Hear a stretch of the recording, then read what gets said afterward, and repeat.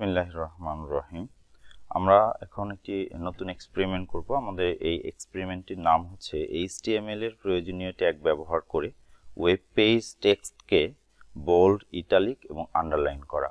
তো ওয়েব পেজের টেক্সট নয়, আমরা নর্মালি যদি একটা টেক্সটকে বোল্ড ইটালিক বা আন্ডারলাইন করতে চাই, তাহলে সেক্ষেত্রে কীভাবে করি একটু দেখি। আমরা এটা আমাদের নর্মাল পেজেই করতে পারি, অর্থাৎ আমাদের বই, আমাদের বিভিন্ন ধরনের উপস্থাপনা, পত্রিকা, এগুলোতেও কিন্তু আসলে এই কাজগুলো করা থাকে বোল্ড ইটালিক আন্ডারলাইন তো আমরা এখানেই আমরা দেখছি তিনটা লাইন লিখছি this text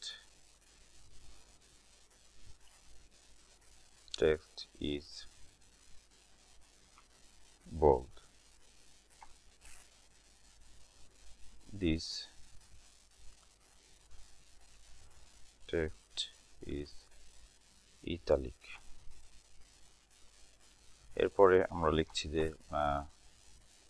this text is underlined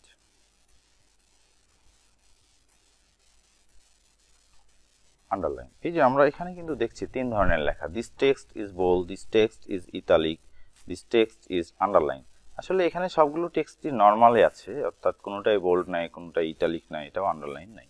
তো এটা যদি আমরা করতে চাই, তাহলে নর্মালি ওয়ার্ডে যেভাবে করি, এই যে এখানে বি লেখাটা আছে, এখানে ক্লিক করে কিন্তু আমরা এই যে বোল্ড হয়ে গেল লেখাটা। আবার এটাকে যদি আমরা ইটালিক করতে চাই, তাহলে এই যে এখানে এই যে বাঁকা হয়ে লেখাটা দেখাল, আমরা লেখাটাকে বাঁকা দেখতে পাচ্ছি। আর এই লেখাটাকে যদি আমরা আন্ডারলাইন করতে চাই, তো এই যে এখানে হোম থেকে এই যে ইউ ইউ আন্ডারলাইন এই যে লেখাটা আন্ডারলাইন হয়ে গেল। তো আমরা দেখতে পাচ্ছি বোলটা একটু মোটা ইটালিকটা বাঁকা করে লেখা, আর আন্ডারলাইন লেখার নিচে দাগ টানা তো এই তিনটি কাজই আমরা এইচটিএমএল এ করতে চাই। এই তিনটি কাজ যদি আমরা এইচটিএমএল এ করতে চাই, তাহলে আমরা কীভাবে প্রজেক্টটা রান করব আমরা একটু লক্ষ্য করি। আমরা আগের মতো আবার একটা আমাদের এডিটর নিব টেক্সট এডিটর এটার নাম হচ্ছে notepad plus plus notepad plus plus আমরা অল প্রোগ্রামস থেকে যাই। অল প্রোগ্রামস থেকে এই যেখানে নোটপ্যাড প্লাস প্লাস লেখা আছে, এরপরে নিচে একটা আইকন আছে, এটাতে ক্লিক করলে আমাদের নোটপ্যাড প্লাস প্লাস ওপেন হয়ে যাবে। আমাদের প্রোগ্রামটি রান ওপেন হয়ে গেছে। এখন আমাদের যেটা কাজ করতে হবে, প্রথমে এটাকে সেভ করতে নিতে হবে। ফাইল থেকে সেভ অ্যাস সেভ অ্যাস আমরা কোথায় সেভ করতে চাই? আমরা ডেস্কটপে সেভ করতে চাই। ডেস্কটপে কোথায় সেভ করতে চাই? ডেস্কটপে আমাদের কোনো ফোল্ডার আছে কিনা? কোনো ফোল্ডার নেই। তাহলে সেক্ষেত্রে আমরা একটা নতুন ফোল্ডার তৈরি করে নেব। ফোল্ডারের নাম দিলাম H T M L practice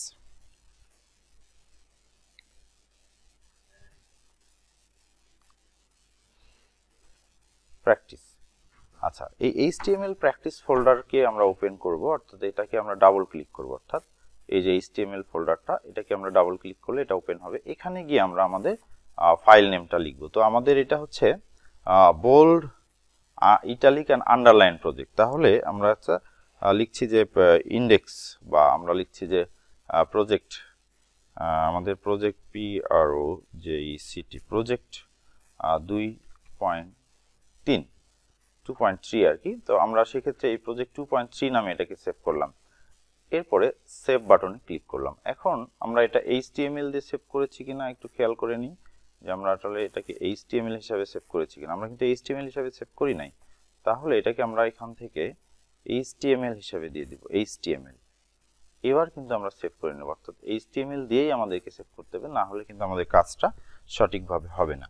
তো আমরা আগের মতো করে আবার আমাদের কোড লিখব H H TML HTML tag হচ্ছে শুরুর ট্যাগ এরপরে আমরা এইচটিএমএল ক্লোজ করার জন্য একটা স্ল্যাশ দিব ফ্রন্ট স্ল্যাশ এইচটিএমএল তাহলে আমাদের এইচটিএমএল তৈরি হলো। এইচটিএমএল এর মধ্যে আমরা জানি যে দুইটি অংশ থাকে, একটি হচ্ছে বডি আর একটি হেড তাহলে আমরা প্রথমে ডিওয়াই বডি তৈরি করে নিব, অথবা আমরা হেড তৈরি করে নিতে পারি আগে এইচ ই এডি হেড হেডের ক্লোজিং দিতে হবে, তাহলে এইচ ই এ ডি এই সবগুলো ট্যাগই মূলত কন্টেইনার ট্যাগ আমরা দেখছি, কারণ এদের শুরু আছে এবং শেষ আছে। আমরা এটা ক্লিক করলে দেখা যাচ্ছে যে হ্যাঁ উপর থেকে নিচ পর্যন্ত, এটা কিন্তু সিলেক্ট হয়ে গেছে। তো এখন এই হেডের মধ্যে আমাদের আরেকটি ট্যাগ থাকে, আমরা তার আগে বডিটা লিখে নিতে পারি এখানে বডি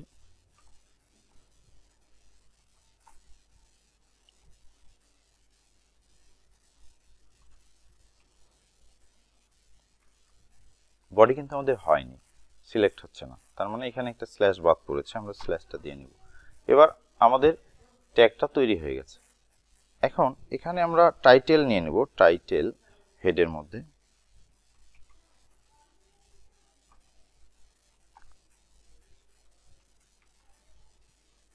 টাইটেল টাইটেল ট্যাগের মধ্যে আমরা কি নামে টাইটেলটা লিখতে চাই, সেই টাইটেলটা লিখব। Making text bold italic and underline আমরা লিখতে পারি। M A K I N G making text bold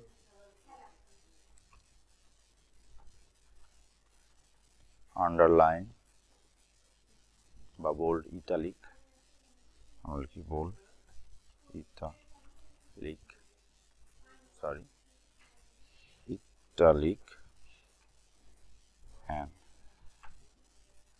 underline underline তাহলে আমাদের লেখাকে আমরা কি করছি? গোল করছি ইটালিক করছি আন্ডারলাইন করছি। এটা আমাদের ওয়েব পেজের টাইটেল তো আমরা এই টাইটেলটাকে সেভ করি আগে। সেভ করে প্রজেক্টে রান করি। তাহলে এই যে সেভ সেভ করলাম। এরপরে আমাদের যে ফোল্ডারটা আছে কোথায়? এই যে এইচটিএমএল প্র্যাকটিস এইচটিএমএল প্র্যাকটিস ফোল্ডারটাকে যদি আমরা এখন ওপেন করি ওপেন উইথ আমাদের ফায়ারফক্স ফায়ারফক্স দিয়ে যদি আমরা ওপেন করি, তাহলে আমরা দেখতে পাবো যে হ্যাঁ এই যে এখানে লেখাটা দেখাচ্ছে making text, bold, italic and underline underline কথাটা আসলে দেখাচ্ছে না কারণ এটা ঢেকে গেছে। এখানে আমরা কিছুক্ষণ কার্সরটা ধরে রাখলে এটা দেখাবে। Making text bold italic and underline এই লেখাটা কিন্তু এখানে দেখাচ্ছে। এখন এই ওয়েব পেজের মধ্যে আমরা তিনটি কাজ করতে চাই। একটা হচ্ছে আমরা লিখতে চাই, এই যে আমরা লিখেছিলাম এখানে this text is bold this text is bold তো এই ট্যাগটা যদি আমরা মানে লেখাটাকে যদি আমরা বোল্ড করতে চাই, তাহলে সেক্ষেত্রে আমাদেরকে কিছু ট্যাগ ব্যবহার করতে হবে। তো আমরা প্রথমেই তিনটা ট্যাগ সম্পর্কে বলি, যে বোল্ড বোল্ড মানে মোটা করা। এটা লিখতে হয় বিওএলডি তো বিওএলডি এর প্রথম অক্ষরটা বি বিটা এই বোল্ড ট্যাগ হিসেবে কাজ করে এবং বোল্ড ট্যাগের জন্য এটার ক্লোজিং ট্যাগ হচ্ছে ফ্রন্ট স্ল্যাশ বি সেটা দিলাম। এরপরে আমরা যদি ইতালিক করতে চাই তাহলে italic I T A L I C তো ইটালিকের আই প্রথম অক্ষরটা এখানে ইটালিক ট্যাগ হিসেবে ব্যবহার হয় এবং এই ট্যাগের ক্লোজিং আছে। ক্লোজিং হচ্ছে ফ্রন্ট স্ল্যাশ আই তাহলে লেখাটা আমাদের ইতালিক হবে। এরপরে আমরা আরেকটি যেটা করতে চাই আন্ডারলাইন আন্ডারলাইন ইউ দিয়ে শুরু, তো ইউ এখানে হলো যে প্রথম অক্ষরটা আন্ডারলাইন ট্যাগ হিসেবে ব্যবহার হচ্ছে এবং এটার ক্লোজিং হচ্ছে আন্ডারলাইন ট্যাগের ক্লোজিং অর্থাৎ ফ্রন্ট স্ল্যাশ ইউ তো এখন আমাদের লেখাটাকে যদি আমরা বোল্ড করতে চাই, এখানে যা লিখতে চাই, আমি যা লিখব দিস টেক্সট ইজ বোল্ড না লিখে যদি অন্য কথাও লিখি, তাহলে সেই লেখাটা আমাদেরকে বোল্ড হিসেবে দেখাবে। তো আমরা লিখছি দিস টেক্সট ইজ বোল্ড আমরা এটা লিখলাম, এটা লিখলে এই লেখাটা মোটা করে দেখাবে। এরপরে এখানে আমরা লিখছি this text is italic italic. তাহলে এই লেখাটা ইটালিক করে দেখাবে। আর এখানে আমরা লিখছি this text is underline underline তাহলে এই লেখাটা আন্ডারলাইন অবস্থায় দেখাবে। আমরা প্রথমে প্রজেক্টটাকে সেভ করে নেব ফাইল থেকে সেভ সেভ করার পর আমরা আবার আমাদের ব্রাউজারে ফিরে যাব। আমাদের ব্রাউজার এখানে। আমাদের ব্রাউজারটাকে এখানে রিফ্রেশ দিব। রিফ্রেশ বাটনে ক্লিক করলে আমরা দেখতে পাচ্ছি যে এখানে তিনটি লেখায় দেখাচ্ছে দিস টেক্সট ইজ বোল্ড এই লেখাটুকু মোটা করে দেখাচ্ছে দিস টেক্সট ইজ ইটালিক এটা বাঁকা করে দেখাচ্ছে, আর দিস টেক্সট ইজ আন্ডারলাইন এই লেখাটার নিচে একটা টান বা দাগ দেখা যাচ্ছে। তো এখন সবগুলো লেখাই কিন্তু আমাদের একই লাইনে দেখাচ্ছে। এটা একটা প্রবলেম আমরা যদি আলাদা আলাদা করে দেখতে চাই যেরকম আমরা এখানে দেখেছিলাম, তো সেজন্য আমাদেরকে কি করতে হবে? আরেকটি ট্যাগ ব্যবহার করতে হবে। এই ট্যাগটির নাম হচ্ছে break tag BR BR break ট্যাগের শেষে একটা স্ল্যাশ হয়, এরপরে এরকম আমাদের ক্লোজিং অ্যাঙ্গেল ব্র্যাকেট দিতে হয়। এরপরে এটাকে আমরা কপি করে আবার যদি এখানেও বসায় দিই, তাহলে এটাও একটা ব্রেক ট্যাগ হিসেবে কাজ করবে। দুইটা ব্রেক ট্যাগ দিলে তাহলে প্রথম লাইন দেখানোর পর একটা ব্রেক তৈরি হবে, দ্বিতীয় লাইন দেখানোর পরেও আরেকটা ব্রেক তৈরি হবে এবং এই শেষ লাইনটি আমাদের তৃতীয় লাইনে দেখাবে। তাহলে সেক্ষেত্রে আমরা আবার ব্রাউজারে যাই ব্রাউজারে গিয়ে প্রথমে এটাকে আমরা রিফ্রেশ করি। রিফ্রেশ করলে এবার আমরা দেখতে পাচ্ছি যে আমাদের লেখাটি তিনটি আলাদা লাইনে দেখাচ্ছে। অর্থাৎ দিস টেক্সট ইজ বোল্ড এই লেখাটা প্রথম লাইনে দেখাচ্ছে। দিস টেক্সট ইজ ইটালিক সেটা দ্বিতীয় লাইনে, এবং দিস টেক্সট ইজ আন্ডারলাইন এটা শেষ লাইনে দেখাচ্ছে। তো ধন্যবাদ সকলকে।